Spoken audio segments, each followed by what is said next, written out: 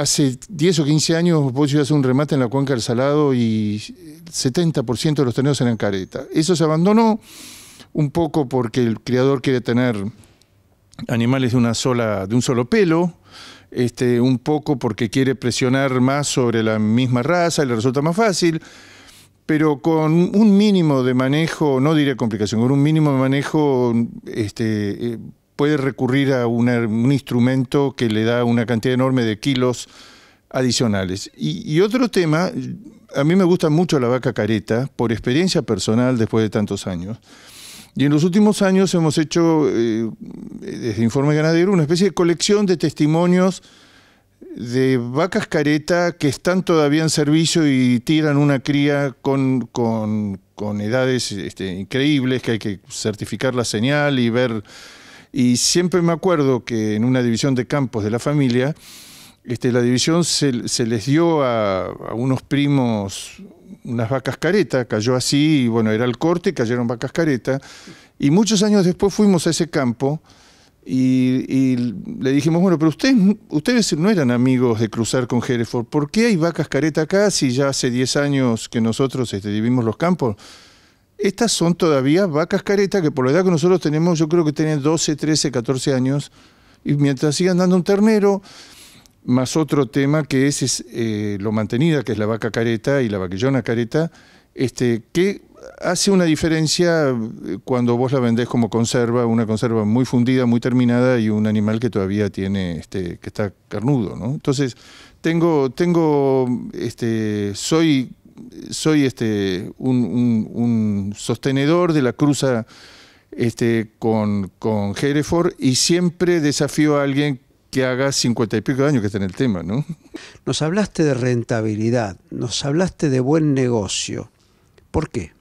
Mira, es muy sencillo, porque primero no habitualmente los productores de carne de, terneros, los creadores, primero vamos a hacer una distinción, yo quiero aclararlo. Eh, acá lo que nos cuesta en el ganadero es reconocer que las cabañas son el semillero son esas famosas semilleros al que acude el agricultor a buscar la nueva semilla híbrida y nadie lo discute.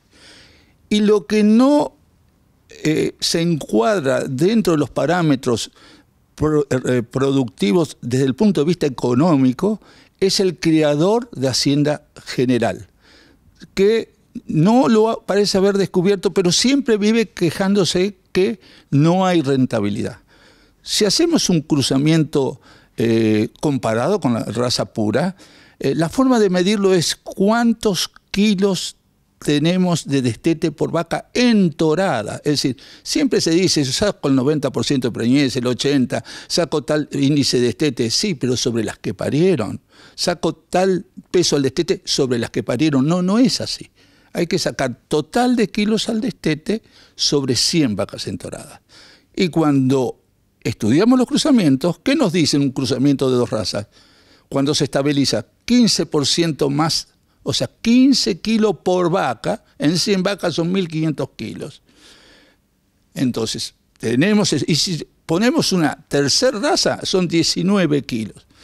Las sintéticas, todas las conocemos, este, fíjate tú, que eh, como la gente de zonas marginales, que uno pensaría que están alejados de la ganadería, este, ¿cómo entendieron que el poner una raza con resistencia a factores ambientales, parásitos, garrapatas, etcétera, etcétera, produce ese fantástico eh, Brangus, Brafor, etcétera, etcétera, este, que tanto produce en el NEA y en el NOA? pero la base en el NEA fue el famoso criss-cross que hacían los en, corrientes entre Hereford y Brahman. Entonces, tenemos más kilos. Otra cosa que nos preguntan, ¿qué necesita la Argentina? Y bueno, que el novicito pase de 340 a 400, de 360 a 400. Necesitamos 40 kilos.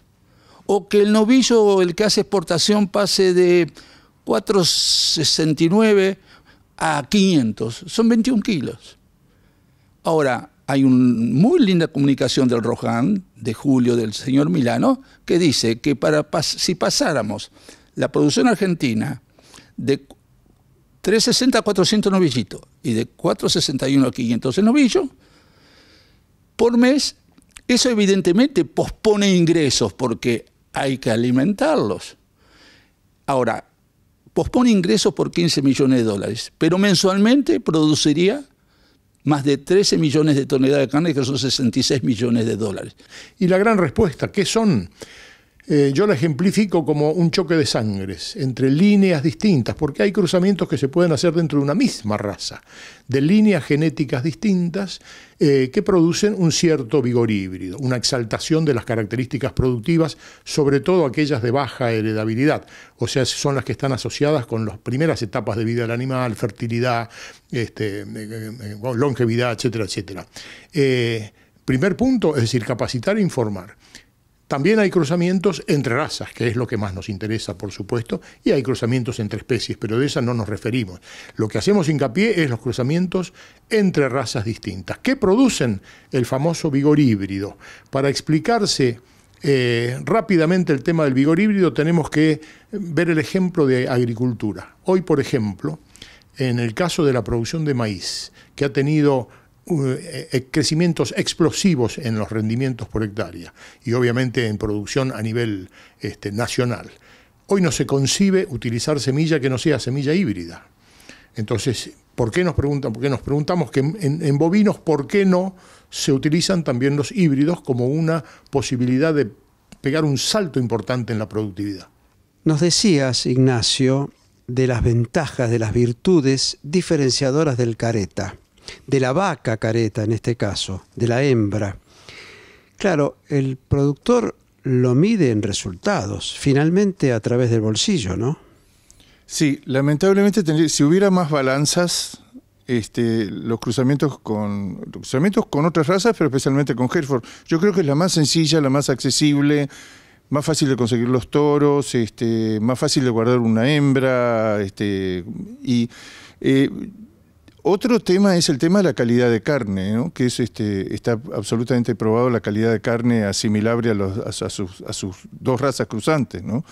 Este, cuando vos este, ves la, fama de la carne argentina, es el Angus, es el Hereford y, es la cantidad enorme de caretas que pasan por el frigorífico y que, bueno, este, tienen un rendimiento en gancho y un rendimiento en despostada este, este, absolutamente estupendo. O sea que yo creo que esto va a volver cuando uno va a Estados Unidos y ve esa diferenciación clásica que el criador, si es de raza pura es cabaña en general, y si es comercial, no se va a privar de las virtudes, de las ventajas comerciales del cruzamiento.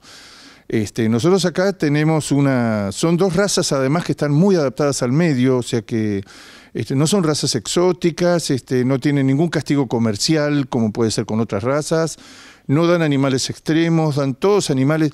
Y te vuelvo a repetir, esa, esa, esa ventaja económica que uno lo obtiene casi gratis por cruzar con, con otra raza y que, bueno, en Argentina lamentablemente tendría que estar mucho más difundida.